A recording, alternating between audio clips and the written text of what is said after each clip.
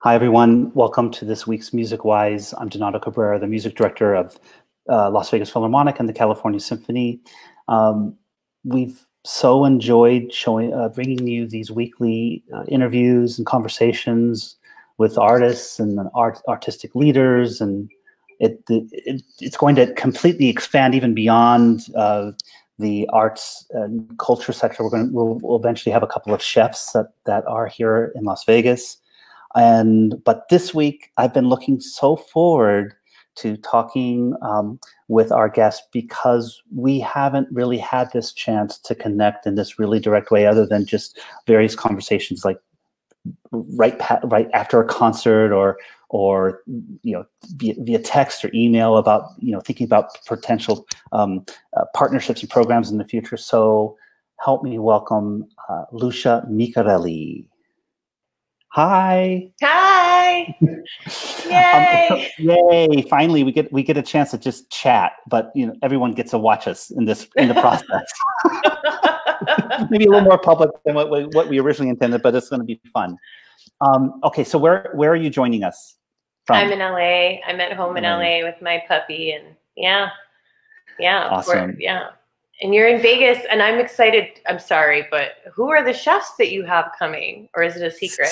No, it's not. It's not a secret. So, um, two chefs are going to join me that also have a. They do have a musical background too, so, which I've got. I've gotten to know both of them uh, over the last couple of years. So, uh, uh Giovanni Mauro, uh, he mm-hmm. Uh, owns this incredible Sicilian uh, pizzeria slash a, a, a credible restaurant called Pizzeria Monzu. Mm-hmm. And James Trees, who is um, uh, just was nominated for James Beard Award uh, two weeks ago. He owns uh, two wonderful restaurants uh, here in Las Vegas. One's called Esther's Kitchen, mm-hmm. and the mm-hmm. other one is called Ada's. And uh, they both have uh, Gio. Gio wanted pursued operatic singing. He has an incredible tenor voice. Uh, and um, James, his father was uh, a local. Uh, he worked in the casino bands, and he and James is a, just a, like from that family of of music makers. So. Mm-hmm. I'm really excited to bring them on and have their perspective as restaurant owners who have such a direct connection to the pulse of not only that scene but to the musical scene here in Las Vegas. So anyway, um, that's coming up in a couple that's weeks. That's so but, exciting! Cool. Yeah. So uh, yeah, we well we before we before we just went live, we were talking about how we're all sort of exploring. Um, uh, you know, so a lot of us have and now have sourdough starters and and you know. Uh, yeah. we're in front of my stove, sourdough starters over there.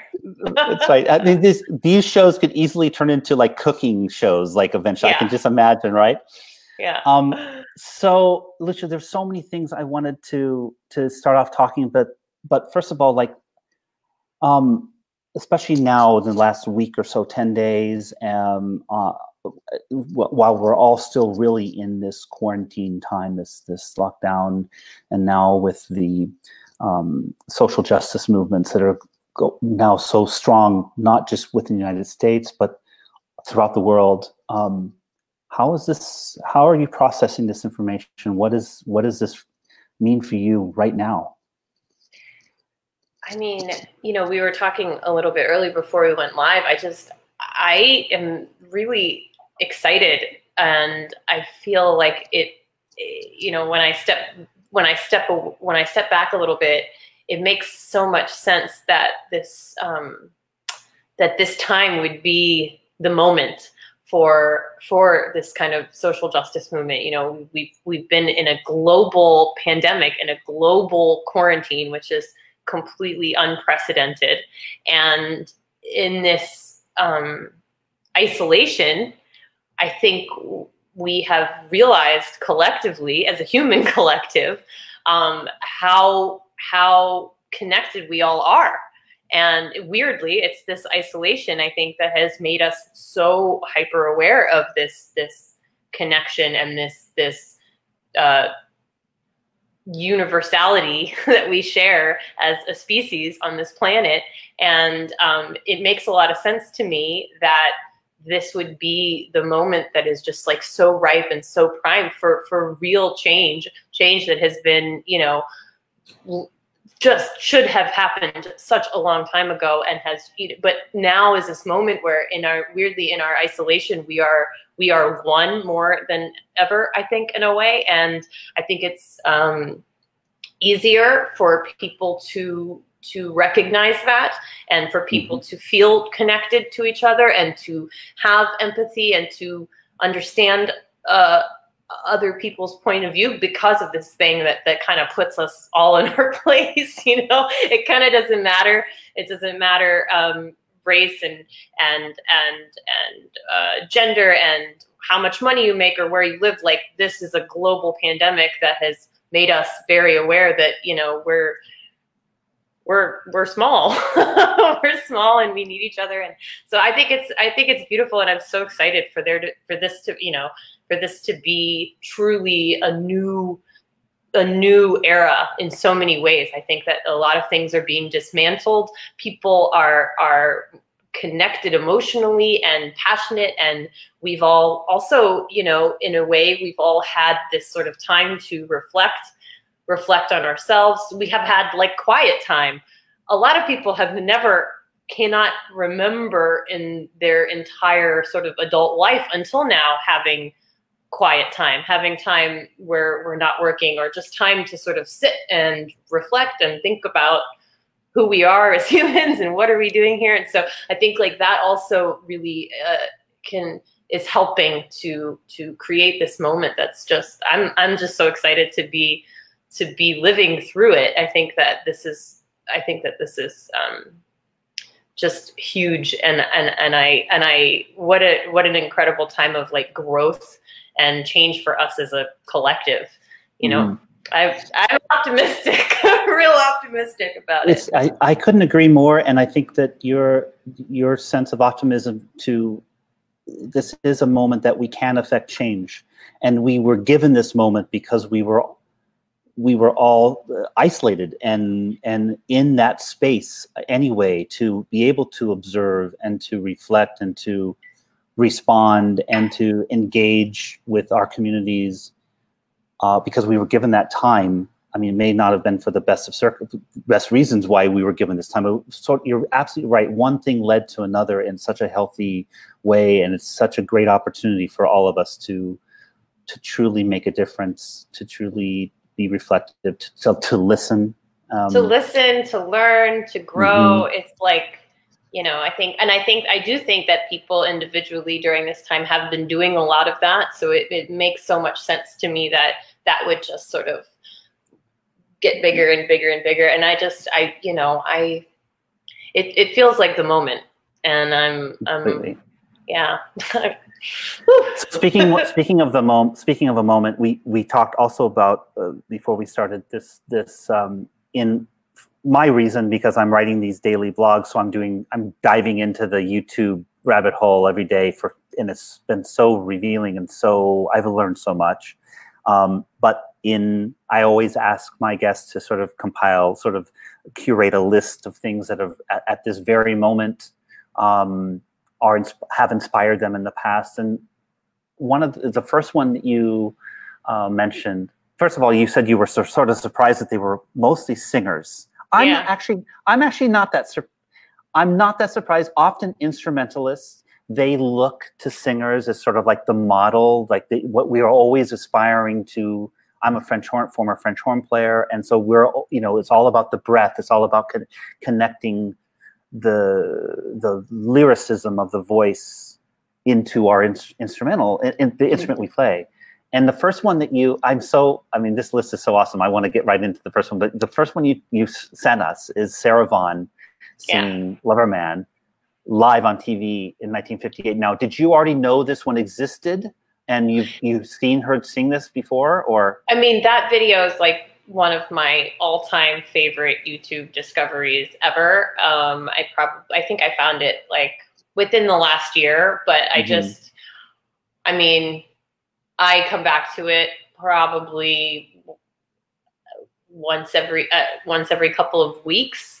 I mean, it'll be like if I have a hard day of practicing and I and I need to be inspired or sometimes I don't know it some it's um and actually you know all all of the it ended up being a lot of singers and then a TED talk um but I think in addition to sort of instrumentalists always modeling their sound or their phrasing after vocalists there's also the element of of storytelling that I'm just personally fascinated with always. And um, I, yeah, she, for me, like this performance is just like the epitome of a, a ridiculous high level skill, but infused with there's it's so emotional and it's such a beautiful storytelling and then it's live and she's just uh, I don't know. It gives me chills. Okay, let's she's watch incredible. it. Yeah. Let's, yeah, let's watch it.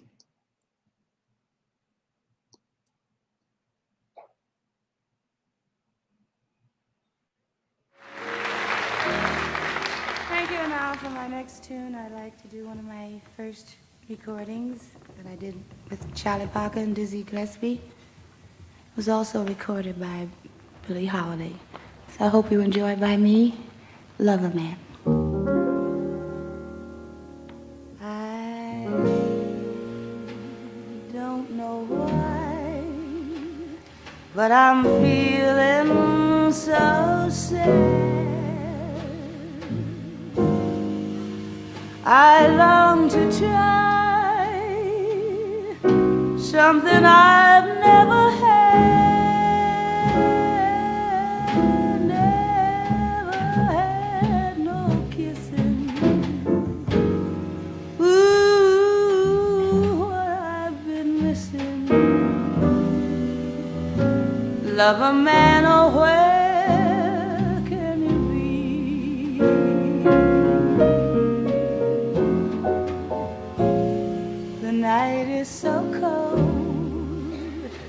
and I'm so all alone.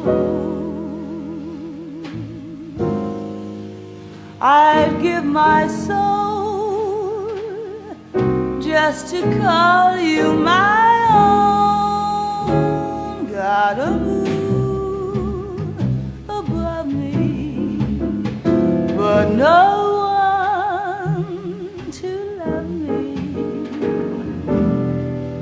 Lover man,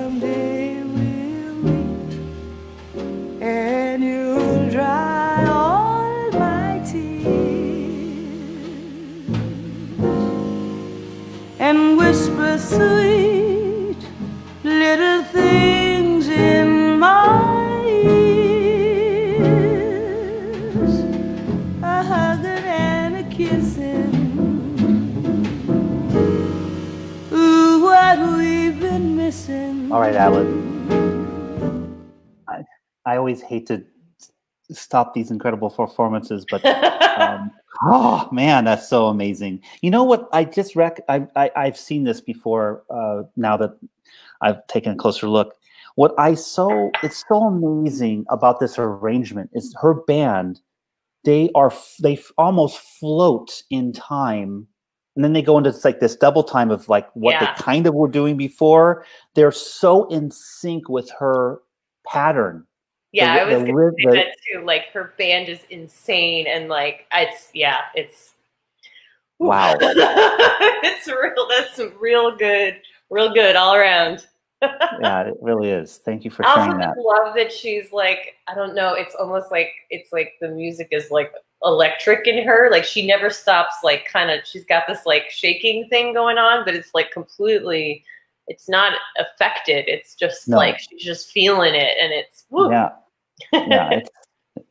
Okay, so let's let's go back in time a little bit. Why the violin? Do you come from a musical family? I mean, what what happened? I do not come from a musical family, but my mom is Korean and and she, you know, wanted she really wanted me to play an instrument. I think she wanted me Mhm. to play piano. Um, she took me to like this local Suzuki school when I was three, and I wanted me to start piano, and they said my hands were too small, and she didn't want to wait. So she was like, "What can she start now?" And and so we started on violin, and um, I mean, I don't really remember starting because I was like three Yeah, but that's young. I yeah, but I do I do remember like four being four or five, and I mean I liked it. I I Yeah. I, I did really like. I, I I don't know if I liked it because I just like liked having a thing, or I yeah, liked you know ha- pleasing adults or something. I'm sure psychologically there was something wrong there, but I did really like it. And then, um, and I was real serious. I got real serious about it pretty quick. You know, I was like, I was sure I, I wanted to do it. By the time I was like seven, I was like, this is it. do you think do you think that had a lot to do with the teachers that you had as well sort of like they were encouraging you in the right ways in terms of like getting you onto that path of focusing Yeah, I mean, my teachers and my mom, or both Mhm. my parents, definitely like they got that discipline stuff under control and just sort of like the hard work thing. But I, I also like, you know, I, I, I really enjoyed having um, an emotional outlet, which seems so weird to say, but when I even, you know, like when I look at videos of myself when I was really young, it's like I don't know what the hell I'm doing. Certainly like I mean I've seen I definitely wasn't wasn't great, but like I'm so I'm I'm shocked now to see like how emotional I was then. I was like super in it emotionally and like making all like really feeling it and you know I, I i think that that was all like really there from the beginning and i i think i loved having a, a place to like explore these like totally age inappropriate feelings you know? I, but I think that, I think I think that's really cool because most you know a lot of kids they may take an instrument but because there's so many technical hurdles they don't connect the um, the ability to play a melody or or be in an orchestra with at first necessarily with emotional expression Mhm. you know what i mean because the tech there is a it's it's not easy learning how to play an instrument it's it, it's pain, it can be painful and it's you know and takes Still. time exactly Still, yeah. so to, no to- and it's yeah i agree I mean, that's really cool that you were able to to to get into the expression right away. That's really that's wonderful. Um, so you you your path, you would say. First, first of all, where did you grow up? You were on the West Coast, East Uh, Coast. I was born in New York. I was born in Okay, cool. Queens, and then um, when I was five, we moved to Hawaii, Oh, and then I awesome. lived there for like six years, and then Mm-hmm. we moved back to New York. I got into Juilliard prep, and then so Okay. we came back. My parents Yeah. were like, "Ah," but yeah, So you were so when you went back to New York and got into Juilliard Prep, it was that you by then you were like, "This is my path. I'm going to be playing the violin." And were you singing at all at that point? Were you know using you know, you're just playing violin? You're doing doing the violin thing. yeah, uh huh. That's enough. That's hard Yeah, I- enough. I'm still trying I to do the violin thing. Oh my god. so you you know so for those of you who aren't aware of like the prep programs they generally take place on saturdays they're like your whole day the the, the juilliard prep programs, you know same thing with the you know all the prep program uh, in san francisco los angeles and so on and so forth and a lot during the week you usually have one lesson maybe two but it's, it's sort of the sat that saturday thing is like it's it's really you play in the orchestra the juilliard prep orchestra i'm sure and yeah. Did you did you think that you'd be playing in an orchestra? Do you think you'd be playing in a string quartet? Did you think what were your thoughts you know, going into te- your teenage years in terms of where you thought you might want to be? I mean, I think at that, you know, I was studying with DeLay and I don't know. I just didn't have I didn't have a very broad, you know, view. So I think I, I wanted to be a soloist at the Mhm, time, mhm. but I also am like, can we just like I feel like everybody wanted that at some or or everybody thought that that's what they should want. Like Right. I, I don't know. I've talked to some I've talked to quite a few friends about this where you know most of us didn't just really discover the especially if you start really young oftentimes it's like a parent is involved or it becomes you know and, and and understandably because there is just like you said there's a lot of just like technical stuff you have to learn and that's part of why they start kids young so they cram all the information in there early. Um you know but a lot of the time it's like most of us don't sort of own um our understanding of or our experience of or our own thoughts about the repertoire or the music or what we're doing usually until we're like teenagers oftentimes. I mean i have a couple friends who like you know really they wanted it and they knew they wanted it and they were the ones pushing themselves when they were kids. But for the most part most of most of the other people i've talked to it's they have similar stories where they kind of just started young they didn't really know anything and they liked it but maybe they liked it because they were good at it and it took a while for to really like own what it meant. And so you know i when i first went to pre-college i just i just wanted to be good. I wanted my Yeah. teachers to think i was good. I wanted to learn all the stuff and whatever enter the competitions. But then definitely like over the years there and then more into my teen years i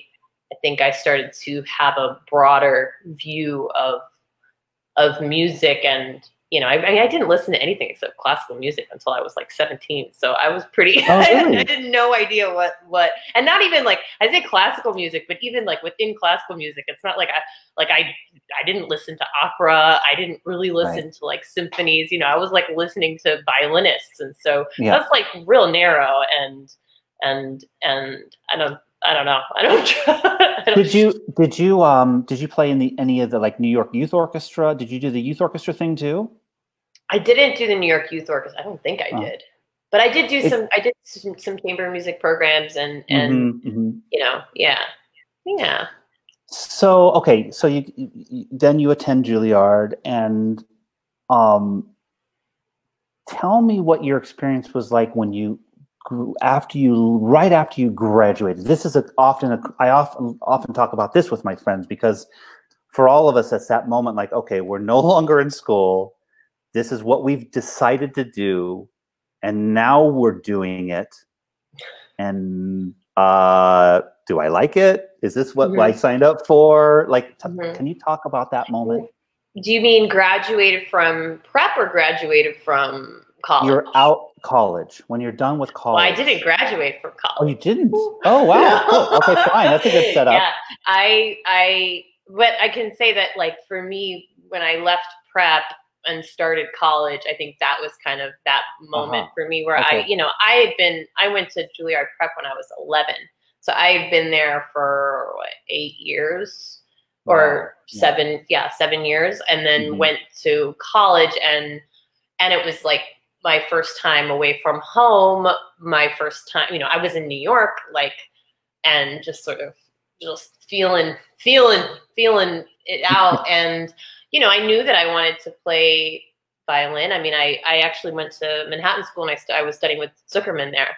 And Mhm. so I felt like I was in the, you know, I was on the track I was supposed to be on, but I definitely, um, just being in a different environment and being on my own and being able to sort of explore some of my own brain and my own and sort of formulate my own thoughts about music i suddenly became really upset with the fact that i had such what seemed like such a narrow perspective on music i just remember like I remember a couple of things. Like I had a friend who made me like at the time we all made like mix CDs for each other. So I had a friend who made me a mix CD of like classic rock and Miles Davis and John Coltrane and like Dolphy, Eric Dolphy. I had like never heard of any of it before. I'd never heard like Led Zeppelin or Pink Floyd, and I'd never heard Coltrane and Miles. And I was just like, like I didn't, I, I, I almost like I just didn't understand. Um, and I remember thinking like, that's so weird that you know mm. I'm so I, I'm such a trained musician, and like I I don't I can't even comprehend this music but yeah. it's music, so it shouldn't be that right. different, you know. And so I had that experience, and I also had the experience that kind of like I started wanting to try to explore other kinds of music, and I had a friend who like threw me some like Hmm. little gig with like an R&B band and I like awesome. went and and I like went to this rehearsal with this band in this rehearsal space and they like played this song you know of course there's like no parts written out and they like played this song it's like got four chords in it it wasn't very complicated and so they played it for me and they were like you know so can you figure out something to play and I was like I don't know what to do yeah. And then they were like, okay, well, we can play it again. They played it again. And I was just like, I still don't, I don't know what, like, I didn't know what to do if I didn't have music in front of me. And I just, the bassist like looks over at me and he's like, you said you went to Juilliard, you know? And I'm just like, oh, and those guys, like just having those experiences, I just kind of started feeling like, I love classical music and I love my training so much and there's so much to explore there and I could be happy exploring within that uh, for the rest of my life. There's so much, you know, it's vast. But at the same time, like it bothered me that I didn't feel that I had um, a a more universal way to communicate with any other musician of any kind. And I wanted to develop, you know, and that's not to say that if you are a classical musician, you you can't communicate with any musician of any kind. I just hadn't developed those skills. And so for me, the way to do that was to like explore improvising and start familiarizing myself with other kinds of music and start trying going out of my way to like meet musicians who didn't have the same background as me, just for me to learn and feel broader. It helped me to feel sort of more like I made sense to myself as a musician because mm-hmm. it seemed I felt a little like like I was all the way in the corner and I couldn't really I couldn't talk to anybody. I don't know. It was it, a little weird. It, it's so it is so interesting because you know um, when you do when you we're so narrow minded uh, not narrow-minded, but you have you have these blinders on. What when you go to conservatory and you're just focusing on, you know, oh that shift that Heifetz does in the Tchaikovsky versus Oistrakh, like oh the finger, what's the finger, you know, like all these ultra specific things uh, that you can spend your whole life on within classical music, but we don't we don't learn the um, which used to be 200 years ago classical musicians improvised. Mozart was famous for improvising. Beethoven was famous for was famous for improvising on the spot. But that skill was is not something we learn in class you know when you when you when you go to school if you're in a, in a jazz program yes you do hone your skills. So okay so then how did you hone your skills at, in improvising? You just sort of trial and error and just going for it like over over the years yeah, and I'm still, you know, I'm still. I wouldn't say that my skills are honed. right. You wake up one day, you're like, "That's it, my skills are honed." No, but I mean, I, I, I, I still work at it. But it's like it was also, I think, I think the most important thing. I, I mean, two things. Definitely, just broadening my musical, my musical world which you know of course ends up also just broadening my world world in terms of who mm-hmm. who ends up being who do i cross paths with that was mm-hmm. really important for me and um, i'm just so happy that that that that happened but um, also uh, like trying to learn a sort of a different approach like even that what you're what you're asking it's like i'm I, I had come from this background of like honing your skills and perfecting and perfecting and perfecting and then and then in meeting these other musicians from different genres was like oh wow like you know there are a million different ways to come to a high level of musicianship or a high level of,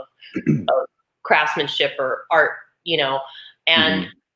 I had really thought like the only way to do it is to just, you know, you're just grind away and you flog yourself and you're like, that wasn't good enough. That wasn't good enough. It needs to be more perfect. And then to sort of like meet all these other people and to realize there's so many ways to come to it and everyone has different stories and um, this idea of, of music being more explorative rather than perfectionistic and also more connective rather than mm-hmm. a, a, achievement based or also perfectionistic you know the, and and I think that that really resonates still with me um, and I'm still working on on on shifting some of my programming but to me that makes a lot of sense you know if if you come into it with this with this with this idea of like you're exploring something and you're searching almost like you're searching for a treasure rather than you're trying to make yourself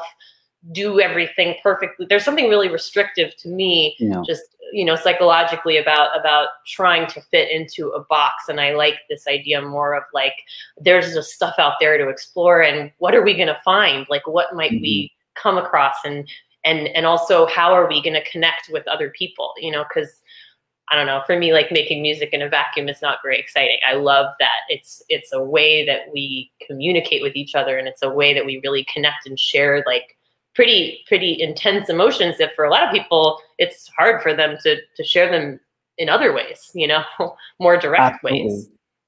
This sort of uh, in I'm so happy that you shared this. Is the next thing we're going to hear is this the, the next thing on your list, and it, it speaks a lot to what we're talking about it's from it's over 100 almost 120 years ago if you can imagine that long ago that this recording was made in 1904 mm-hmm. um, by Enrico Caruso. And when you when you hear i love i'm a fan of historical recordings in general and not just in classical but all you know hearing things. It, what you hear is exactly what we're talking about. This sort of, it's not about perfection, it's about the message. And I think one of the reasons why most of us still know who Enrico Caruso is, is we can hear through the the hiss and the clicks and the of, of the technology at the time, we can hear this this man who just grabs you by the heart.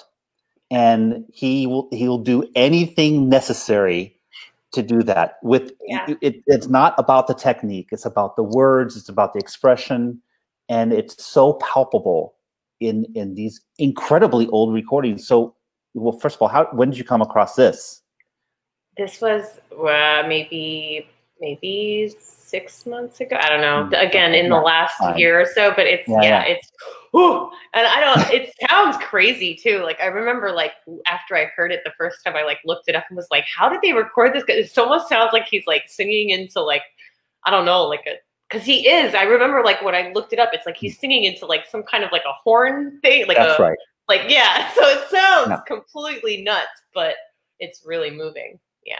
All right, let's hear. This is uh, Lucevan le Stelle uh, by sung by Enrico Caruso.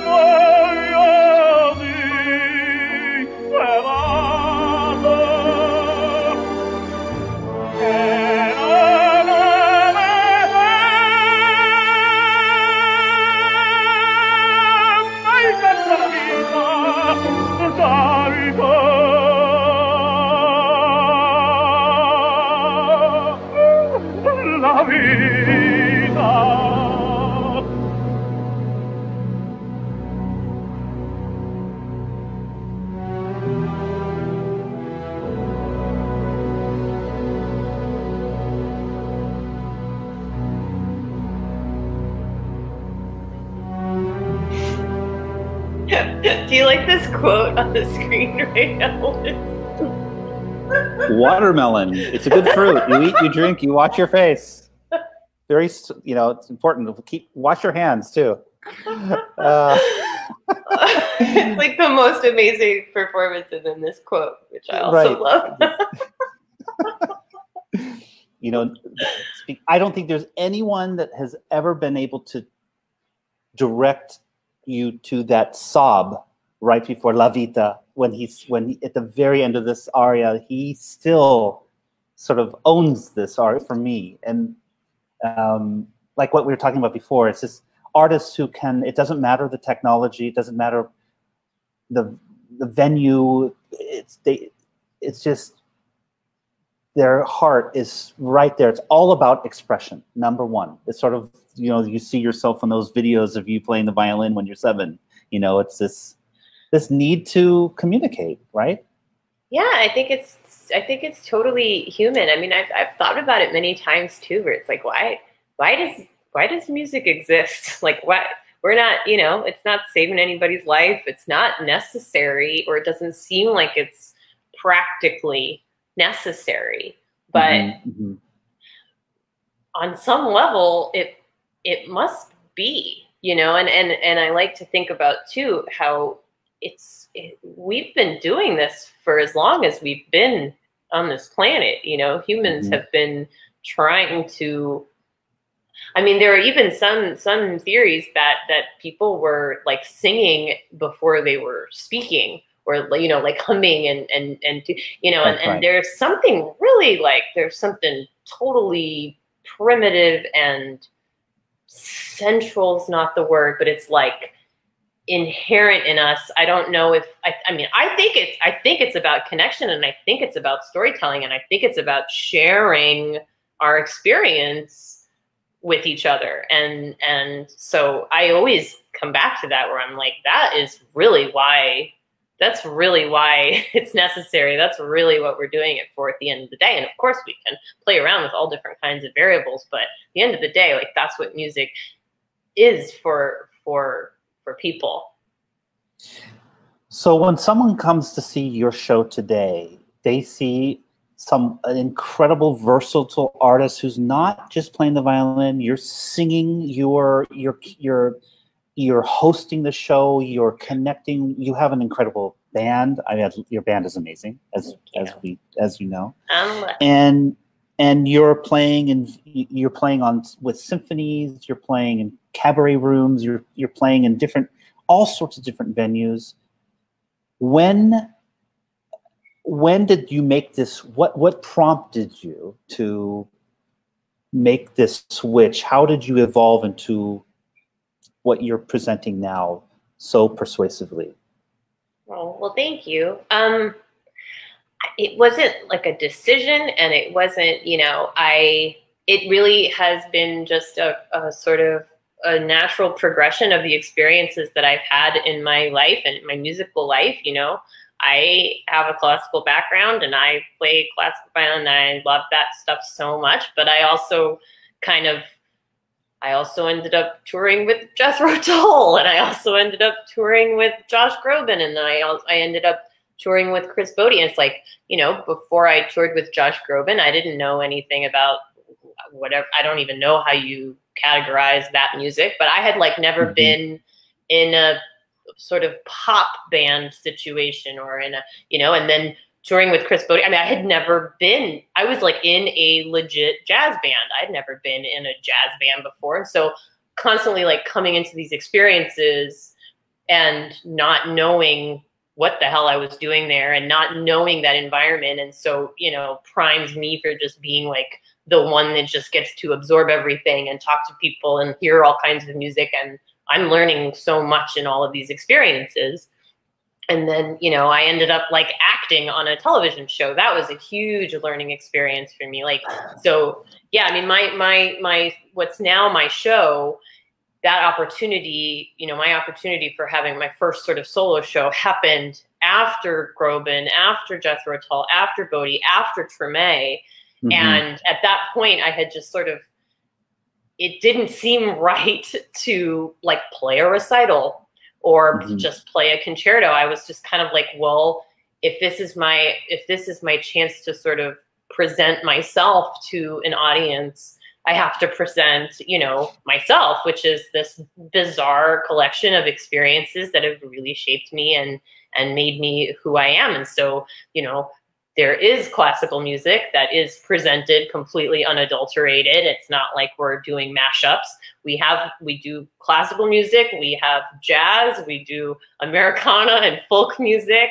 I I, I do I did feel like I should sing because I I ended up not only acting but singing on this television show that I did and and it felt like part of me. It, you know, I ended, you know, I was doing that show for like four years, and it, by the right. end of it, it felt it felt like that was part of who I was. And also, you know, going back to what I was saying earlier, it it it was very interesting, like as an instrumentalist, to suddenly like kind of be forced to sing, but then to have the experience of singing where there is a directness um, using language that's like so different and kind of like amazing. And um, I, I, I, did kind of like fall in love with singing to a certain, I mean, it, it terrifies me still, and it really terrified me then. But, you know, again, just I was very open to like having these new experiences and and if something feels like that if something really moves me or scares me or makes me feel like there's so much to learn or so much to explore then that's a good thing you know so and then i'm gonna keep i'm gonna keep moving towards it right so, yeah right. i and so it just it was all very natural it was never like a a choice right.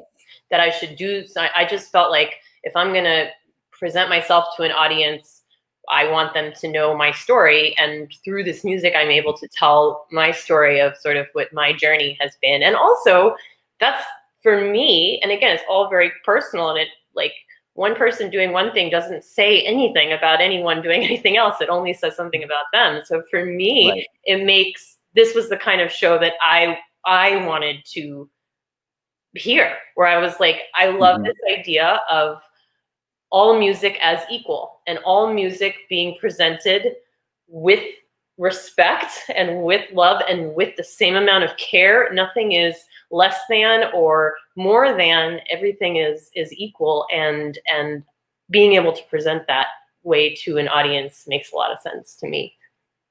I want to just touch up upon this uh, moment in your life where you were you were exploring really two new avenues of expression, singing and acting. I'm I'm curious. Uh, uh, we haven't talked about acting yet, but am I, how did your music training affect your your your need? You're all you know. You're now a- acting on a show. You're on set. You know, learning lines, expressing yourself through through a in a different way. Um, how did your musical background of, of um, help you with that and then vice versa now looking back your singing and your acting how did that inform who you are now as a musician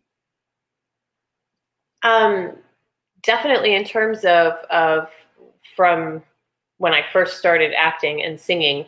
Um, I mean, as a musician, obviously, it's helpful to be a mu- to to be an instrumentalist, and then when you're trying to sing, because at least you have some idea of like that you're not in tune or you're, you're not doing it right. So I didn't have any of that. Like, I think I sound so good, but I didn't like that didn't happen because I'm a violinist. did you have but- a did they did you have a voice did you have a voice coach at first sort of I ended up out, or- asking a friend of, of Cy Smith, a friend of mine, to to give me some some lessons, but they were Yeah. just like, just do it. It's not a big deal. um, but the acting, like, definitely, what was super helpful was just like the discipline. Was already so ingrained in me. So and and then you know things like memorizing, like I'm used to Mhm. memorizing music, memorizing lines wasn't that difficult, and I'm used to sort of working hard and being repetitive and you know so with all the discipline stuff it was easy also or not easy but it, it just helped I, it wasn't a a stretch for me to like figure out the work ethic but um Mhm. also like there is a similarity i didn't realize it at first but there is a similarity um at least i think so between acting and specifically like chamber music or ensemble playing um because if what you're hoping to get to is a place where you know your part and you know it so well that you can do it and be free within it that you you know what you need to do but you can be really present in the moment and that you can listen and react to the other the other people around you the other people that you're collaborating with in that scene so it's so much to me like chamber music or just music in general but especially Mhm. chamber music where you're like i just want to be like on top of what i'm doing enough that i can have my ears open and my eyes open and really be just reacting and responding and and and and having this like connective experience. Like you know when you see an actor that's like just totally focused on like what what's my next line? What do i have to say? How does my face look? Like that's not you know that's, that's no good. So that that similarity is like pretty strong. We're definitely Yeah. like you know it it it it is about like ultimately what you're what you're hoping to get to is a sort of a a hyper awareness and and and really to be a great listener. And i think that's very similar for for for being a musician. You want to be a good listener. Speaking of good listeners, I, I, another uh, the next clip we're going to play is by one of my all-time favorite artists, Caetano Veloso, and this and what I've always loved about him is the way he's it's soft. Yeah It's like he it's this this intimacy, this this softness, and um, I feel like when he's performing, he's also always listening somehow isn't it Yeah. he, he he he gives this impression talk a little bit about this this this clip I mean, first of all, his hair, it, he just looks amazing. like, I love this clip. Just like, I'm like, he looks, this was such a great time in his life. Like, he just is so him. But yeah, I mean, his voice is so beautiful. I love his Mhm. phrasing. And I love that, that kind of music. I mean, I love Brazilian music, but more specifically, like I I love like acoustic music. I love that sort of like soft spoken. I mean, it doesn't even have to be a singer, but that it's like music that you listen to with headphones, sort of in a dark room with a candle. I Mhm. love that stuff. You know, that's always going to be my home vibe. Like, and so I don't know. I, I, I, I just think he's, I love his phrasing and I think he's, again, super, he has like a direct, there's a direct line between his heart or his soul and then what's, what's coming out to the audience. And it, you just feel like there's there's no in between there's no like filters it goes through it doesn't get like over intellectualized in between there's not like a bunch of shit going on it's just like coming straight from his heart and his soul to us it's i don't know i love him Let's let's listen.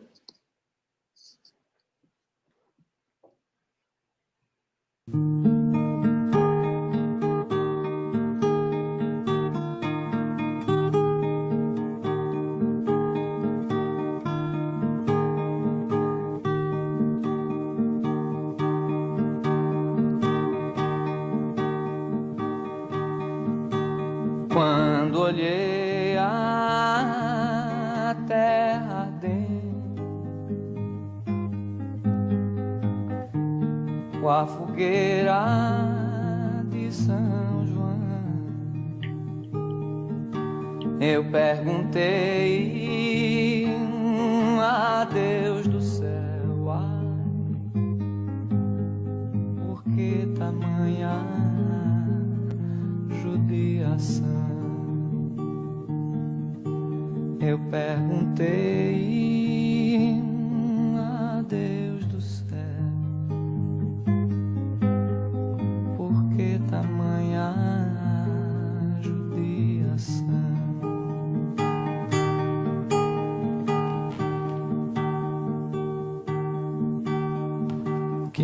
Braseiro, que fornalha. Nenhum pé de plantação. Por farta d'água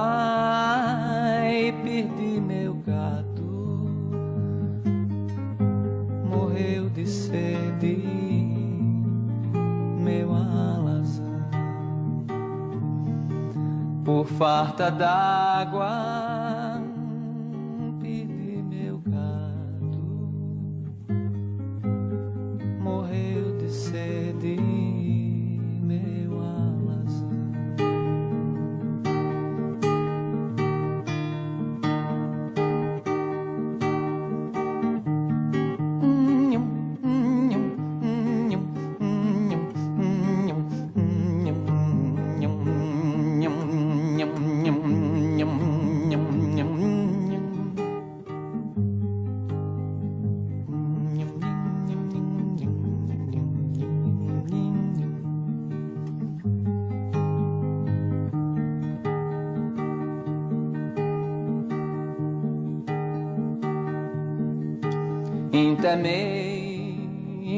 mesmo a asa branca Wow.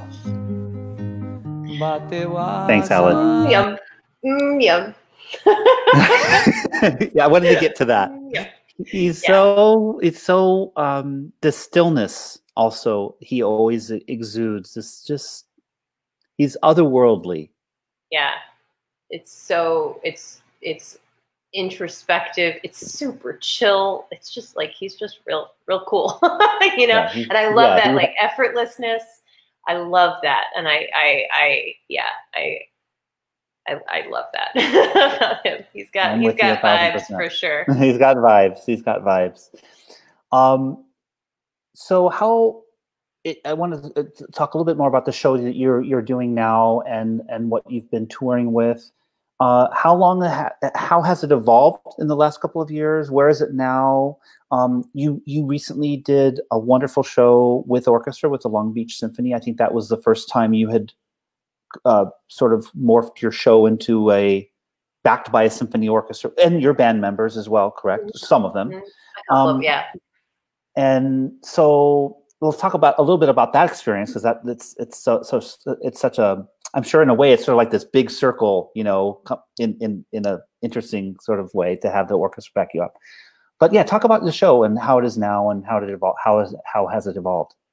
Well, yeah, I mean, so you know, that was the concept was just sort of presenting all music as equal, and and and really that I just I wanted it to be a very uh, direct, emotional representation of of just me and like what I'm, what do I love. So you know, I'm pr- I'm real careful. Like I never program anything as filler. I don't program things because someone tells me to. I don't program anything because I need like five more minutes or oh, I don't have something in that genre. Like, you know, I just program what what moves me and what I think um, you know, because I also really believe that if like something moves the the artist enough, they're going to be best most capable then of like translating that to to an audience and taking an audience along with them. Like you have to be moved by it to to to try and move a whole bunch of people. You know it's hard it's, right. it doesn't you know so there's an authenticity there but anyway so had that and that show like the sort of main show is is is sort of feels like a chamber ensemble. I mean it's essentially a string quintet with piano so it's like piano mm-hmm. Me another violin viola cello and bass and then what's what's happened over the last few years besides obvious um, repertoire oh my doggo besides obvious like oh yeah she's vicious um, I can hear. I can. I can tell. yeah yeah calm down um, besides obvious like repertoire changes and i kind of move things oh my God. i'm so You know sorry what? No, it's okay. You know what we'll do is we're. I just want to. I'm gonna go on to this clip like "Little Love," Gabe Gabe Kahane's thing that you've done, and then we'll come back and talk Okay. about it. Okay? Okay.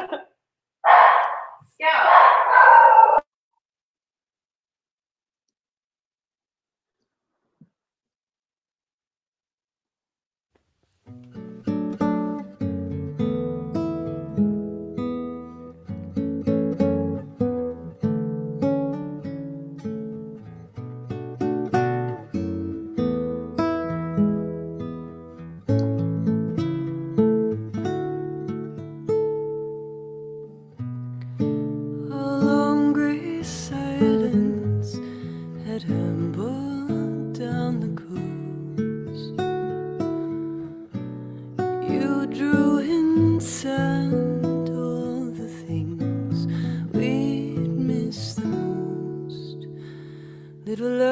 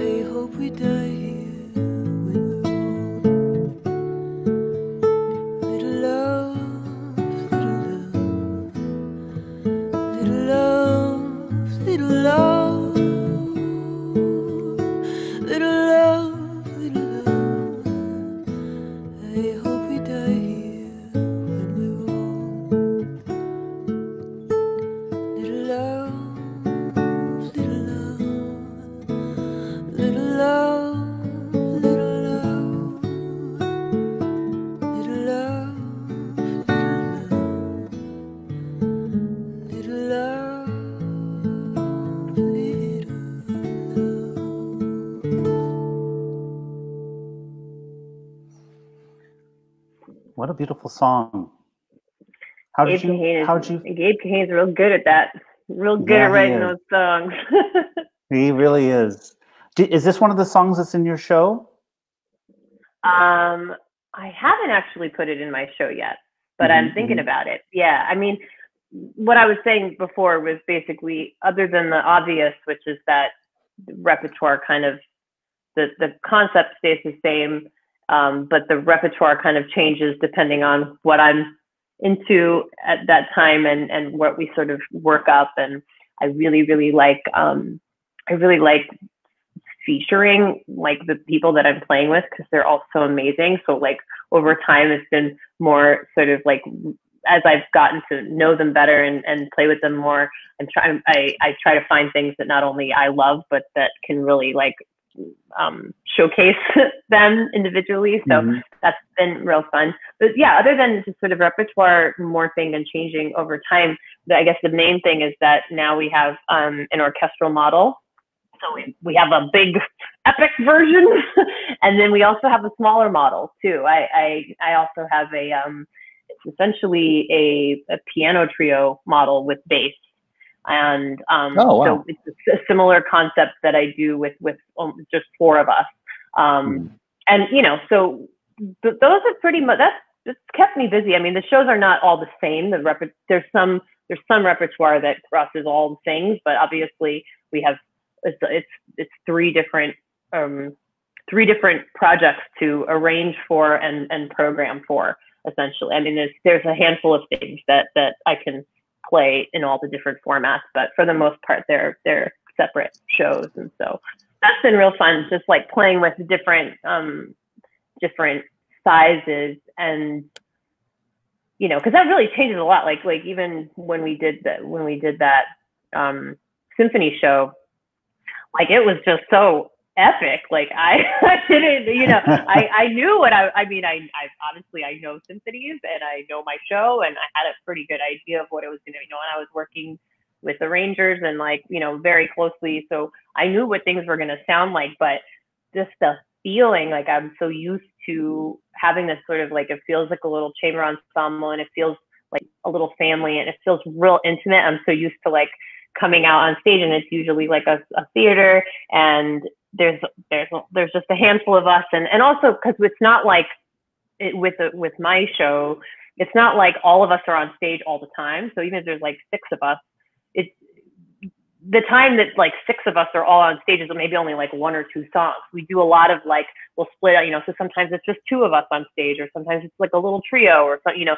Or and so it's it's it feels real small and homegrown and and intimate, and then all of a sudden like there's like a whole orchestra back there, and we were in this we were at the Long Beach Arena, so it was an arena. It was like Wow. I felt like I felt like I was in a circus. I mean, in a good way, but it, you know, it definitely like that. It was interesting. It was interesting how you can have a the same concept and the same center, the same heart, the same um, the same intention, but Mhm. in these different formats, it things things are just di- it's just different how how you get to how you get to that you know i mean it really works like with an orchestra to sort of have have beefed up arra- uh, arrangements and, and just kind of play with that, play with that space and play with that size and play with that lushness, you know. And so like with And- the and- orchestra, one and- of my yeah.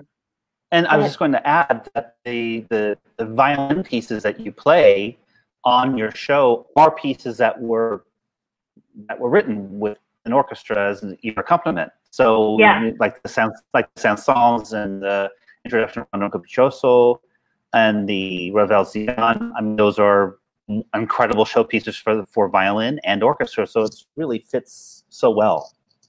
yeah and, and i and i tried to also like with that orchestral show i you know it, it helps to like i am a violinist and i i have played in orchestras and i know also you know like i've played pop concerts and so i know what i i really want you know the same idea that i have for myself where i want i want to program something where i'm going to be super engaged because i think i'm going to do my best at communicating if i'm super engaged I feel the same way Mhm. about my band, and I feel the same way about an orchestra. If I'm working with an orchestra, I want I want everybody to be engaged and to be having a good time at the very eh, enjoying themselves. And I don't, you know, and so we spent a lot of I spent a lot of energy on that, just like trying to make sure that these orchestral arrangements like really were something to to dig into, and and and also in my orchestral show.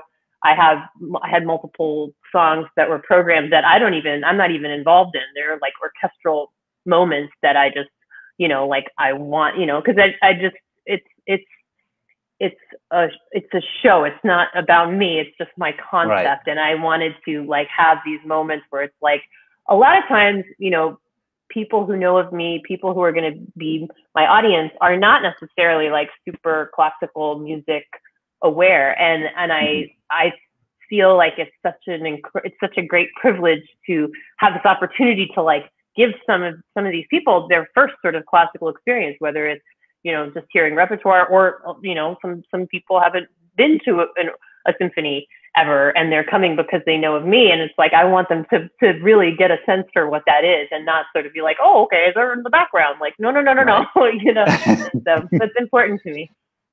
Uh, well, I can't wait for us to be able to do that show. I mean, it's it's it's such a Oh, great show, and um, and you're such a such an amazing artist, and and you know, it's interesting. I first we sort of we first connected when you came to play at um, the Smiths and the uh, Cabaret Jazz, uh, and and seeing some of the video of the the version, the phonic version of the show, is, is was really inspiring. So.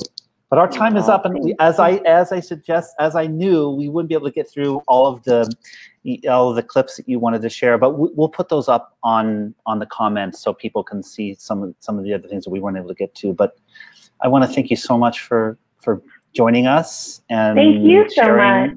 sharing your story, and um, can't wait to see you live. Yeah. And, uh, yeah, we'll we'll see each other soon. Okay. Okay, thank you. Thank you so Mm. much for having me. It was such a pleasure. Thanks, Lucia. Bye.